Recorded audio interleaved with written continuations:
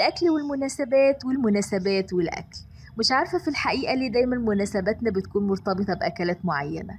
يعني مثلا في العيد الصغير أو عيد الفطر معروف طبعا بالكحك والبسكوت والبيتي فور ويا سلام بقى على طبق الفسيخ ولا الرنجة. والتسالي بقى خد عندك حلبة على ترمس على حمص. بس قشطة يعني. يا رب كل ثانية وانتوا طيبين. تعالوا النهاردة في الفيديو ده أعرفكم على يوم من يوميات دودو مرتبط بعيد الفطر وهو تجهيزي للرنجة. تجهيزي للرنجة. بسم الله الرحمن الرحيم. السلام عليكم ورحمة الله وبركاته. طيب الله أوقاتكم بكل الخير. متابعيني الكرام متابعي قناة يوميات دودو. في رنجة في فسيخ يبقى النهاردة عند دودو يوم من اتنين يا إما النهاردة شم النسيم أو النهاردة أول يوم في عيد الفطر المبارك.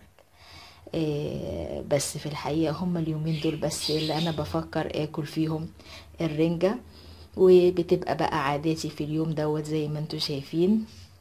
إيه بهتم أول حاجة طبعا بجيبها بختارها الرنجة. إيه تكون حلوة كده وناشفة كده وماسكة نفسها. وبجيب بقى اللوازم بقى بتاعتها.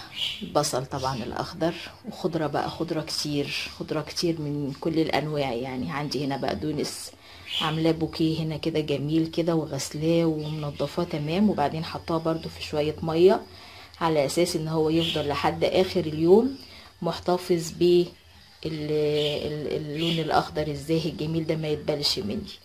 كمان في عندي الفلفل بقى بألوانه الجميلة فلفل الحلو والفلفل الشطة وكمان في عندي طماطم خيار الليمون طبعا ضروري الخس ايا كان نوع كابوتشي أو اللي هو الخس البلدي يا ريت بس للأسف ما ما, ما لقيتش اليومين دول خس بلدي. وفي عندي كمان طحينة. تمام؟ أنا بقى هنا عندي في الرنجه دي عندي رنجتين أهم هعملهم بطريقتين.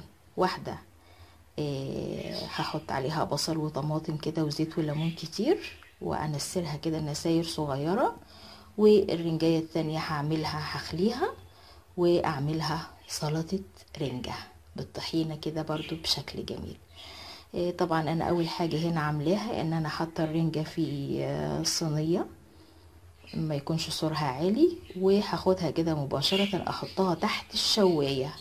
على أساس إن هي تطقطق كده الجلد اللي فوق دوت يطقطق كده معايا وأقدر إن أنا أسلخها وأنضفها بسهولة. إيه تابعوا بقى معايا علشان تشوفوا الخطوات.